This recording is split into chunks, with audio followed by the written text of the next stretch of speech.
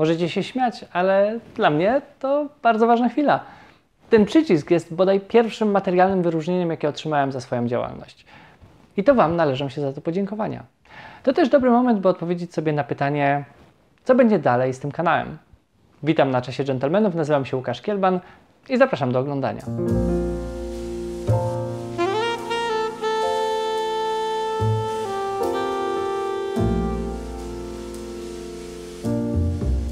Odkąd pamiętam, interesowało mnie to, jak działają ludzie, jak reagują w poszczególnych sytuacjach, czemu zachowują się tak, a nie inaczej. Chętnie gromadziłem wiedzę na temat właściwego zachowania, że jestem buntownikiem z natury i historykiem z pasji. Szukałem też źródeł poszczególnych zwyczajów, bo nie mogłem ich przyjąć bez mocnych argumentów. Nigdy bym tego nie przypuszczał, ale z czasem okazało się, że ta wiedza jest na tyle ciekawa, że już ogromne grono się nią interesuje. Zapewne powody, dla których oglądacie moje filmy i czytacie artykuły są bardzo różne. Jedni chcą pracować nad swoim charakterem, inni budować satysfakcjonujące relacje, a jeszcze inni pragną zmieniać swój styl ubierania się. Wszystkim nam przyświeca jednak jeden cel walka z byle jakością. Bo w końcu ja również zmieniam się i rozwijam dzięki czasowi dżentelmenów. Zdobywam nowe umiejętności i staram się doskonalić, a wy mnie do tego mobilizujecie. I ten aspekt chyba przynosi mi tutaj najwięcej satysfakcji. Niemniej jako twórca mam swoją misję w szerzeniu dobrych zwyczajów wśród Polaków. Wiele się mówi o erozji stosunków międzyludzkich, wyobcowaniu, egoizmie, braku szacunku do innych, zapominaniu o podstawowych wartościach i wyznawaniu tych, które nigdy nie powinny stać na piedestale. Moje treści stawiam w opozycji do tych trendów i chyba idzie to całkiem nieźle. Ostatnie dwa lata pokazały mi dobitnie, że wysokiej jakości, przemyślane materiały mogą dotrzeć do bardzo szerokiego grona odbiorców, nawet jeśli dotyczą dobrych manier i szacunku do drugiej osoby. Coś, co wydaje się być niszowe, może dzięki odpowiedniej formie trafić pod strzechę i zrobić wyłom w byle jakości, która stała się domeną ostatnich lat.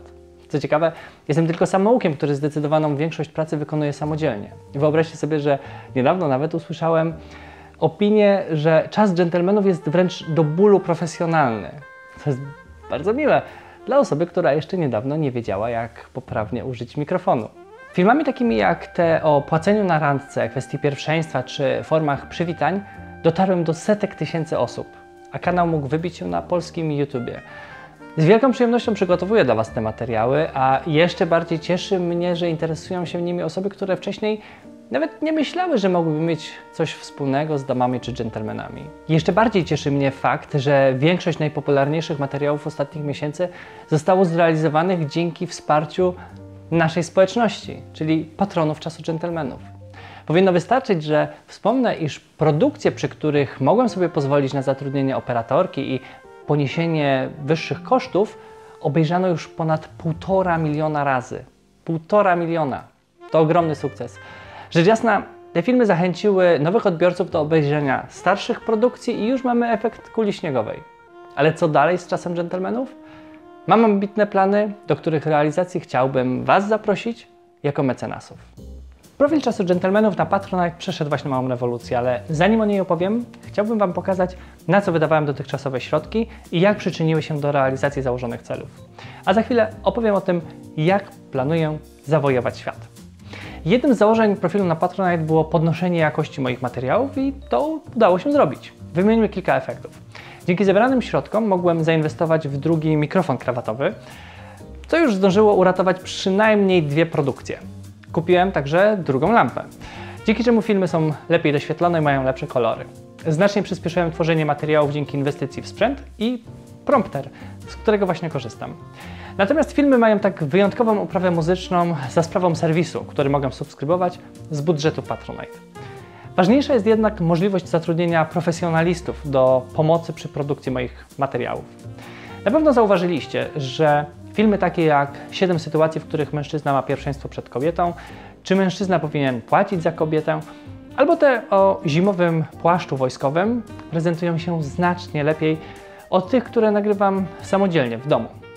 Prawda jest taka, że potrafię zrealizować film w 100% sam, ale zatrudnienie choćby jednej osoby pozwala mi rozwinąć skrzydła, podnieść jakość i no, niezwykle przyspieszyć pracę. Zresztą statystyki mówią same za siebie. W ten sposób zrealizowaliśmy już 9 produkcji, w których znalazły się najpopularniejsze filmy na kanale Czasu Gentlemanów. Do tych nagrań podchodzę też rzecz jasna z rozsądkiem i staram się wykorzystywać poszczególne ujęcia w więcej niż jednym filmie. Ideałem byłoby tworzenie takich treści co miesiąc lub nawet częściej, ale niestety dotychczasowe środki nie pozwalały na to. Niemniej to ma się wkrótce zmienić. Pytałem Was, jak Waszym zdaniem powinien rozwijać się czas dżentelmenów i na szczęście nasze pomysły są bardzo podobne. Chcę przygotowywać więcej filmów i artykułów dotyczących budowania relacji i odpowiedniego zachowania się, ale tym razem bez ograniczeń geograficznych. Coraz więcej podróżujemy, pracujemy za granicą, a nawet żyjemy poza Polską. Zasady zachowania z kulturą i klasą w innych stronach świata stały się więc tak samo ważne jak te dotyczące budowania relacji w ojczyźnie. Wspólnie możemy pomóc zadbać o wizerunek Polaków za granicą. Moim celem jest realizacja serii podróżniczej, w której będę mógł Wam pokazać wybrane aspekty różnych kultur. Wiedzieliście, że w części świata możecie kogoś mocno obrazić wręczając mu napiwek? Rzecz jasna, w innej części globu napiwki za wykonaną usługę będą wręcz oczekiwane. Słyszeliście o kraju, w którym kurtuazja jest posunięta do tego stopnia, że nawet jego mieszkańcy nie mają pewności, kiedy ktoś robi coś z uprzejmości, a kiedy faktycznie tego chce? A wiedzieliście, gdzie możecie obrazić czyjeś uczucia religijne, robiąc mu zdjęcie bez pytania i gdzie możecie usłyszeć od sprzedawcy, gdy zapytacie o cenę, podziękujecie i odejdziecie? Ciekawe, czy domyślacie się, w którym kraju beka się przy stole, a w którym wznosi się nawet godzinne toasty. I niech Was nawet nie kusi, żeby wychylić ten kieliszek przed końcem przemowy. Wymieniam tu tylko kilka z ciekawostek z najpopularniejszych stron świata, w których bywamy. Okazuje się, że różnorodność obyczajów może być bardzo kolorowa, a brak wiedzy niestety utrudni nam nawiązywanie dobrych stosunków, bo będziemy narażeni na niepotrzebne gafy. Są bowiem miejsca na Ziemi, w których do dobrego wychowania podchodzi się znacznie poważniej niż w Polsce. Chcę zatem zebrać środki, by pojechać do kraju, który wybiorą patroni i zrealizować parę filmów o jego kulturze. Są to wysokie koszty, zwłaszcza jeśli miałbym zabrać ze sobą osobę do pomocy, co z kolei przyspieszyłoby pracę i pozwoliło przygotowywać więcej materiałów wyższej jakości. A gdzie możemy pojechać? To już zależy od Was. Już ustaliłem z obecnymi patronami, że najpierw zbierzemy odpowiednią sumę, a potem wybierzemy cel. Może będzie to Wielka Brytania, czyli kolebka współczesnego modelu dżentelmena, albo Hiszpania, w której studiowałem przez pół roku i poznałem ciekawe zwyczaje. Ale może uda nam się też wyjechać aż do Chin, Japonii lub Indii. Cel ten jest bardzo ambitny, ale wierzę, że kto jak kto, ale społeczność czasu dżentelmenów potrafi się zmobilizować. I nawet jeśli tylko część z Was będzie mogła pozwolić sobie na odłożenie kilkunastu złotych miesięcznie, osiągniemy to, co sobie założymy. Wiecie już, jak poważnie podchodzę do tworzonych przeze mnie treści i jaki drzemie w nich potencjał. Możecie więc ocenić, czy warto w tę pracę zainwestować, stać się mecenasem czasu dżentelmenów i wraz ze mną wypełniać misję walki z byle jakością. Chciałbyś poznać różnicę między Polską a resztą świata? Chcesz, by Polacy mieli skąd czerpać rzetelną wiedzę o podróżowaniu z klasą? Chcesz mieć wpływ na cele podróży, dostęp do materiałów dodatkowych, otrzymywać ode mnie kartkę pocztową z odwiedzanych krajów i jako pierwszy oglądać powstające filmy? Możesz zmieniać świat na lepsze, wspierając Czas Gentlemanów na Patronite. Wystarczy, że klikniesz w link powyżej albo ten w opisie tego filmu, żeby przejść na mój profil i sprawdzić, jakie korzyści płyną z subskrypcji wybranych progów. Jeśli jeszcze Cię nie przekonałem, opowiem teraz szczegółowo o celach, które przed sobą stawiam. Pierwszy próg 1000 zł został już osiągnięty. W jego ramach inwestuję w muzykę, oprogramowanie i sprzęt. Gdy coś odłożę, realizuję filmy przy pomocy osób trzecich. To się nie zmienia i nadal będzie tak funkcjonowało jak do tej pory. Wyższy próg to 4000 zł, choć trzeba przyznać, że jest on umowny. Z niego zamierzam finansować serię podróżniczą. Środki na podróż będę odkładał aż do zebrania budżetu odpowiedniego na realizację wyjazdu do kraju, który wybierzemy wspólnie z patronami. Tematykę materiałów określę na podstawie kultury, którą będę chciał przedstawić. Czasami będzie to przegląd najważniejszych spraw, o których powinien pamiętać turysta albo biznesmen, a czasem będzie to bardziej szczegółowy opis jednego zjawiska, jak kultura jedzenia w Chinach, mm, tradycja picia herbaty w Japonii, czy zjawisko tarow w Iranie. Z pewnością chciałbym poszukać źródeł ideału dżentelmena w Europie, sprawdzić, jak mają się dobre maniery w Wielkiej Brytanii i poszukać odpowiednika mężczyzny z klasą w dalekich krajach. Chcę spotkać się z Polakami żyjącymi w tych krajach i ich rdzennymi mieszkańcami, którzy mogliby wyjaśnić mi niuanse swojej kultury. Planuję realizować przy okazji dla patronów vlogi, podcasty i robić bardziej kuluarowe zdjęcia. Część patronów otrzyma też kartki pocztowe i listy z tych państw. Nie chciałbym jednak przygotowywać tych filmów w sposób całkowicie budżetowy, co znacznie obniżyłoby ich jakość wizualną.